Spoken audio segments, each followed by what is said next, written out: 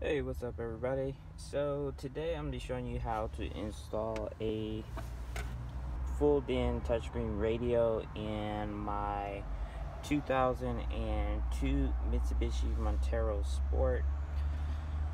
So I've already started a few things. I've started, I took loose this front, the front bezel around the, the original radio.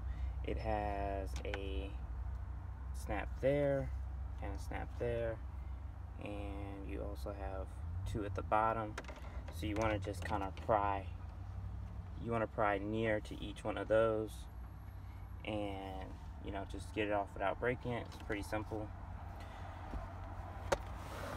Um, the radio is held in by four screws.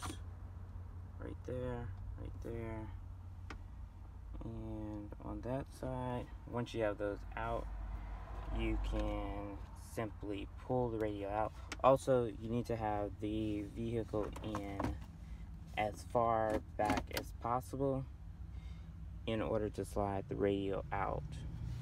It makes it a lot easier for the space between between here and there. So now I'm just gonna go ahead and grab a hold of it and pull it out. So yours is obviously going to have wires connected here at the back if you're just now taking it out. So you should be able to just unplug the wiring harness from there and disconnect that and that is the radio antenna port there.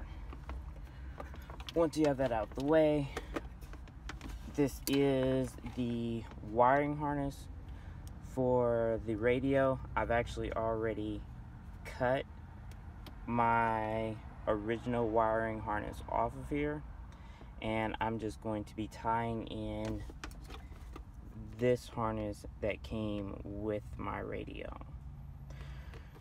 So I'm going to go ahead and flash a picture of the wiring color code for this vehicle on the screen and I'll also have either a picture of it or I'll put it in the description below for the exact color codes for this vehicle.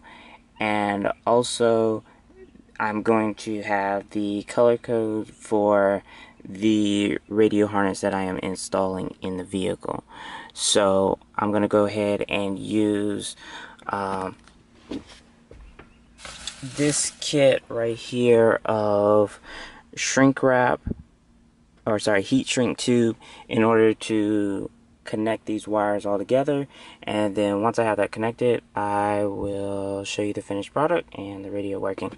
Anyway alright we'll be right back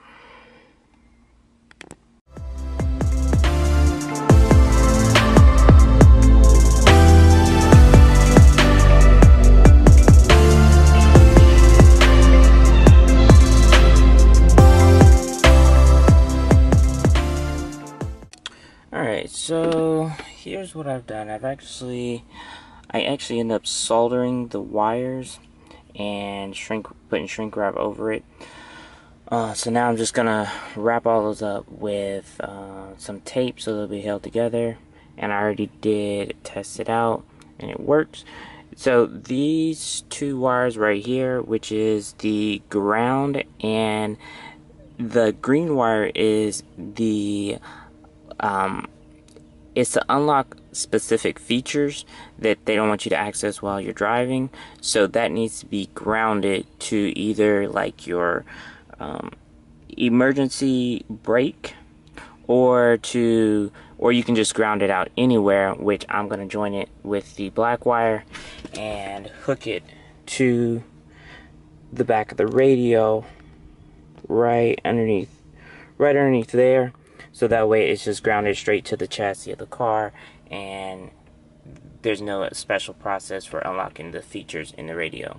So I'm going to go ahead and get this all plugged up and I'll show you the end result. Be right. Alright, so here we are. The radio is now installed. As you can see, it fits pretty good. There is a little gap around the edge of the radio, but overall I think that's a great fit for a double DIN and you don't need any additional bezel or trim fittings in order to get this in order to get a double din to fit in the Mitsubishi Montero. Um, also, the brackets from the old radio, you're actually able to unscrew them and screw them onto your new radio that already has holes drilled in certain areas, and you're able to screw those in, and this radio slides straight into the vehicle with any additional attachments needed. Uh, so I'm going to go ahead and power it on, and just like that, the radio works. And I'll go ahead and turn it to tuner.